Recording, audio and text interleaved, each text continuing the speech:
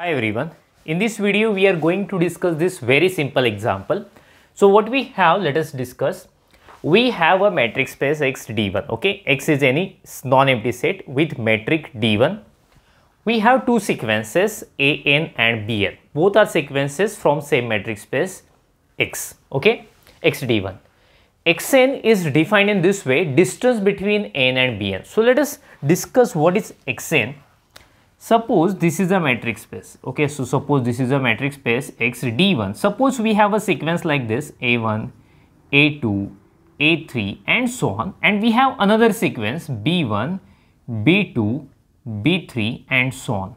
So distance between a1 and b1 that is our x1 Distance between A2 and B2 that is nothing but x2.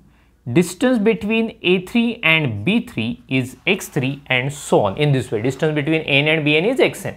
So in this way new sequence is formed. So that is xn. So we have two important informations. What is the first information? That n is Cauchy. This sequence n is Cauchy. Second important information is xn converges to 0. This distance is going to 0. This is the second important information and our target is only one thing that is Bn is a Cauchy sequence. This thing we have to prove. So let us start with the given information. Okay, so let me mention we have we have I will simply highlight the important information that is n is Cauchy in x d1 getting and the second important information is xn converges to 0 in R du. du means usual distance d of xy is equal to mod x minus y. Okay. What we have to prove? To prove that Bn is Cauchy. So obviously I am going to use the definition of Cauchy sequence to solve this example. So you are familiar with that. Uh, in definition of Cauchy sequence, we have epsilon. So let us take one epsilon.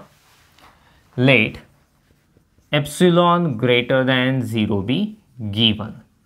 So right now we have two information that n is Cauchy and xn converges to 0. This is second information. So let us use that information one by one.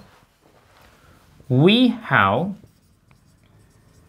an is Cauchy so the definition of Cauchy sequence says for given epsilon greater than 0. But see epsilon already we have. So let me mention therefore for above epsilon greater than 0 there exists a natural number n such that such that see it is Cauchy in metric space x d1. So that's why I should write d1 an am less than epsilon for all n m greater than or equal to capital N. So by using definition of Cauchy sequence, I got this one. But see a small adjustment I am going to do that is instead of epsilon, I am going to write epsilon by 3. It's a part of adjustment. Epsilon means what? Very small positive real number. Epsilon by 3 has the same meaning. So that's why we can easily replace it just for adjustment. Important thing, so that's why I'm calling it as 1 we have another thing xn converges to 0 let me mention also we have also we have xn converges to 0 where? In r du usual metric okay? So we should keep in uh, mind while writing the solution. Let me remove this part now. Okay. So here we have a convergent sequence right? So let us use the definition of convergent sequence epsilon is required obviously. So the same epsilon I will use which we have already taken. So therefore for above epsilon greater than 0 there exists a natural number. But see natural number already we have got right? So let us call it as n1 and that will be n2 such that mod. I should write mod since we have a usual metric okay? We cannot write d. It's a mod. It's a definition of d is mod. Mod xn converges to 0 that means xn minus 0 less than epsilon for all n greater than or equal to n2 right? Okay see. Uh, i'm going to do adjustment again. Instead of epsilon i will write epsilon by 3 same type of adjustment there. Let us simplify okay? Uh, xn minus 0 is xn less than epsilon by 3 Uh, xn means what? xn means yes, xn means this distance, right? Let us put its value here. Mod d of n bn less than epsilon by 3. Obviously, I should carry this condition, right? n2 for all n greater than or equal to n2 and so on. But see, distance cannot be negative, so no need to apply mod. If you apply mod, you will get the same value. So that's why directly I can write d of n bn less than epsilon by 3 for all n greater than or equal to n2. This is 2. Okay. Therefore, I should write yes. Uh, see, the problem is that statement 1 is true for n1. That means all n and m, any natural numbers you can take those should be greater than or equal to n1 then this is true 2 is true for all natural numbers greater than or equal to n2 but see we have to use both statements both inequalities simultaneously right? So we should have some common condition. So that's why i'm taking let let i will take n is equal to maximum maximum of n1 and n2 then 1 and 2 will be true for this n. So, therefore, 1 and 2 will be true for this n. Okay, so yes, we have used the given information completely. Now, our focus is on this thing we have to prove Bn is a Cauchy next D1. Okay, so there is no more space to write, just make a screenshot of it, then we will go further. So, let us continue. See, I have purposely kept this inequality here. So, we are going to use it now. Okay, so we can easily see and you can see how we can use it. So, what we have to prove? We have to prove that Bn is a Cauchy sequence. That means d of Bn Bm less than epsilon. This thing we have to prove. So, let us consider this thing. Consider d of Bn Bm. So now I'm going to use triangle inequality. Okay, so yes, we are going to extend that inequality. So what we have Bn, Bm. I'm going to consider two more points, N and M.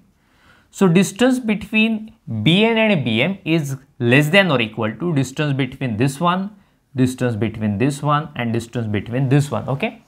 So yes, we can write this is less than or equal to this distance is less than or equal to uh, see d1 we have so i should mention d1 here right here also we should mention d1 everywhere okay so d1 of what?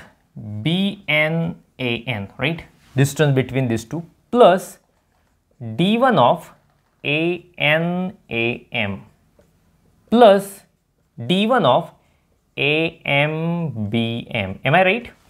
Yes. So yes using triangle inequality i got this one. Let me remove this part. So you can easily interchange. No, distance between Bn and N is same as distance between N and Bn. So yes, so this is equal to d1 of Nbn plus d1 of Anm, right? Plus d1 of Ambm. So d1 of Nbn, we have seen it somewhere. Yes, here its value is less than epsilon by 3 what about this d of n m? Yes, its value is also less than epsilon by 3. So that's why purposely I had kept this inequality here. You can easily see, yes, we can apply here. d1 of n bm, getting? So we have, we have n bn here and here a m b m doesn't matter, getting? Doesn't matter. That n is greater than or equal to n2, then this is true. Similarly, if our m, if our m greater than or equal to n2, that means here n so this one will also will be true for that m also. So here also I can write epsilon by 3. Simply I should mention for all n m greater than or equal to capital N. Okay. So that condition should be maintained then we can easily use this inequality. Yes, epsilon by 3 plus epsilon by 3 plus epsilon by 3, 3 epsilon by 3 which is epsilon, right? So therefore, what we can write here at the end d1 of B and Bm less than, strictly less than epsilon with this condition. So this is definition of Cauchy sequence, right? So this is Cauchy. So therefore we can declare, therefore Bn is Cauchy where? Bn is Cauchy in Rd, sorry, it's XD1, in XD1. We have a metric D1, so that's why I should write the same. In this way, we have proved Bn is Cauchy sequence in metric space X D1. So the solution is over here. Make a screenshot of it. Then we will stop. Thank you. See you in next video.